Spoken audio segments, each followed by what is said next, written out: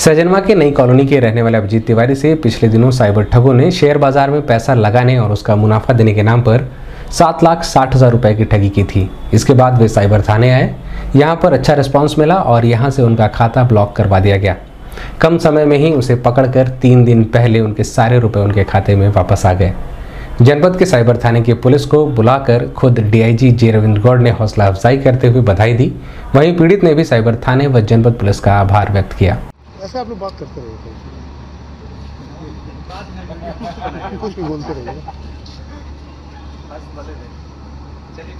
हम्म, हम्म, मिठाई।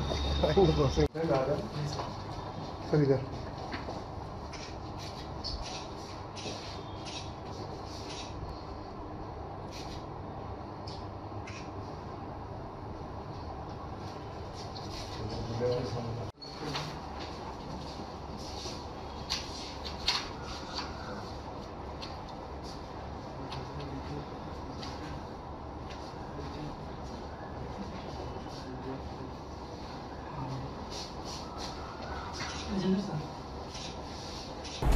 इस संबंध में सिटीवन संवाददाता से बात करते हुए साइबर थाने के एसआई उपेंद्र कुमार ने बताया। ये एक व्यक्ति हैं अभिजीत तिवारी सहजनवा गोरखपुर के रहने वाले हैं।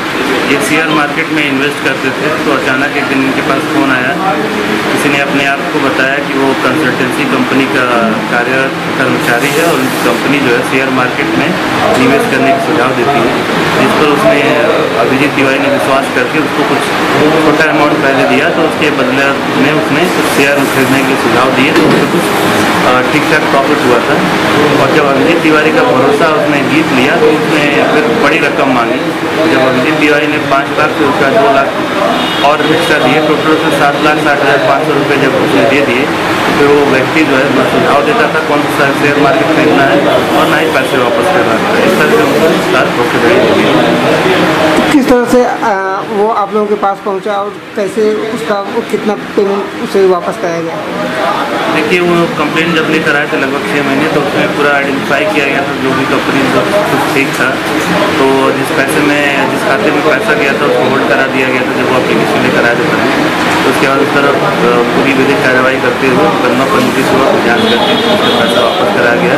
टोटल अमाउंट जो है सात लाख साठ हज़ार पाँच सौ रुपये वापस करवा दिया। क्या इसमें कोई गिरफ्तारी भी हुई है? नहीं अभी गिरफ्तारी नहीं है। जब जो अभियुक्त है वो फरार चल रहा क्या इस तरह के आ, कि, कितने केसेस देखने को मिल, मिल रहे हैं इस समय? देखिए ये अपने आप में एक अलग से मॉडल ऑफ़ फ्रेंडली जैसे शेयर मार्केट में इन्वेस्ट करने के लालच वाला जो है ये एक पहला मामला आया था जो बड़ी रकम ऐसे छोटे छोटे जो मामले आते हैं आते रहते हैं।